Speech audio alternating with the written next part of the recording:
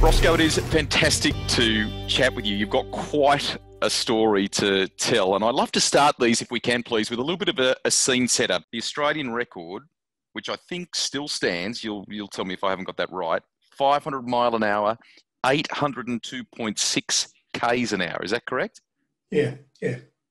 Just amazing. Yeah. uh, What's, it, uh, what's uh, it feel like on your body and things like that, Rosco, and and you know controlling the machine at that sort of speed?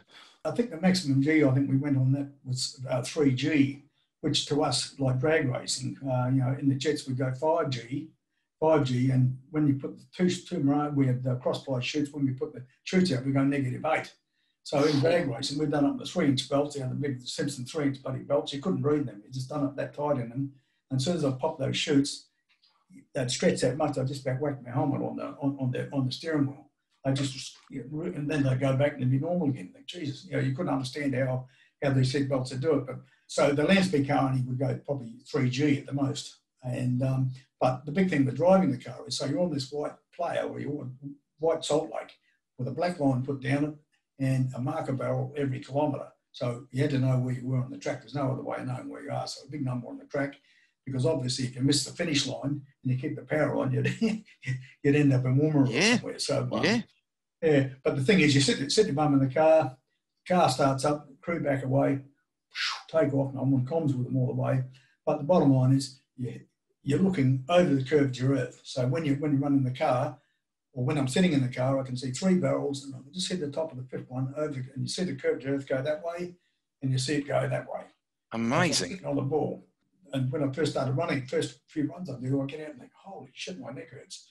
And um, and then we look at the onboard vision. I had a camera look, at there. I lifted my bum out the seat and got my helmet pressed up hard against the top of the roll code subconsciously, trying to look over the hill just to make sure there's no emus, or even though you've got spotters, but no emus or uh, kangaroos or something in the track. You know, it's really like driving a road car over a hill pretty fast. Like, gee, no one's, no one's over There, there. yeah. Uh, same scenario. So that's all the way. You're, you're going over over the curvature like that. And um, and even the spectators, we say to people, it's not really a spectator sport. The Channel 7 came out there with us.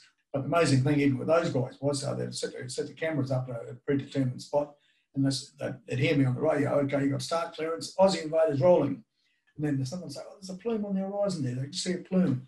Next thing turns into a black dot, there's a bigger black dot, next bigger, and then whoosh, next thing it's gone past. And holy shit, you know, That fast. that's fast, yeah, yeah. Yeah. So as I say, because of the curved earth, they can't see it. So I'm, I'm down here running fast, and then they're here, sort of thing. And yeah, anyway, I, I- love the analogy. I love the analogy of, of it being like over the top of a ball, mate. That's a that's a great a great description. Can we complete, um, if you're comfortable with it, by talking about you went back and and endeavoured to better that mark to, to chase a new record in in Invader Two, and in many ways, mate, are you, am I right in saying that you're lucky to be here to tell the story today?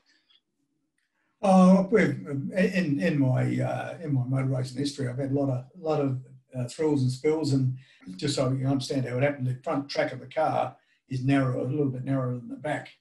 And what actually happened is the front wheels punched through the salt, and uh, as I say, we approached 600 mile an hour on that run, but broke through the, the wheels broke through the salt. A lot of downforce in front of the car, broke through the salt. Then one of the rear wheels dropped into that track, and the car just tramlined. And I was looking at the timing gear, possibly two mile away. I thought, holy shit, this doesn't look too flash. I couldn't put a chute out at that stage because the just was torn off the car.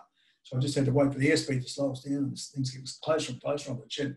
Here we go, bang, hit the chute, it held, hit the other chute, and then ran over the timing gear. And a timing marker went through the engine, killed this engine, big black plume out the back of the engine. And the noise it made when it hit, it's just absolute mind boggling. I got out of the car and shit, I'm still alive.